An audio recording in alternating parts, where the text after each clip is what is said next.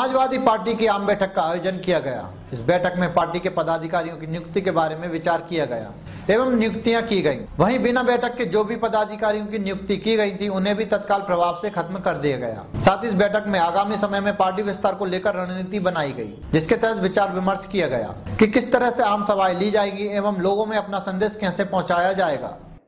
Public की जो समस्या है उन समस्याओं को लेके आंदोलन हमारे जारी होना चाहिए चाहे भगोड़ी हो चाहे रावगढ़ हो या बुलाओ कोई भी। कोई भी हो। तो मैं बताऊँ छोटे पदाधिकारी तो जो है पार्टी के साथ समर्पित है हकीकत कहेंगे कि इस तरीके से अपन को आंदोलन करना है आप समस्याएँ लाओ समस्या जुटाओ पब्लिक लाइए आप इतनी तो हम पब्लिक लाएँगे ना। देखो तो आप समस्या को लाने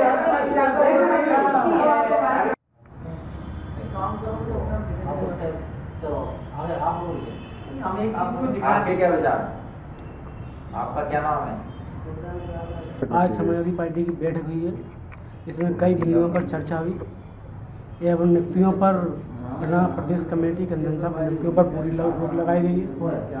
और जो नियुक्ति बिना मीटिंग की गई उनको नष्ट किया गया है। मीटिंग में नियुक्ति की जाएँगी। और समाजवादी पार्टी को संगठन में तेज़ी से विस्तार में लाया जाएगा। पूरे ब्लॉकों में कार्यक्रम किए जाएँगे। आम सभाएँ होंगी। प्रदेश अध्यक्ष जी भी इस महीने आगमन हो रहा है उनका। और अखिलेश जी का कार्यक्रम भी बहुत जल्दी मध्य प्रदेश में लगने वाला है।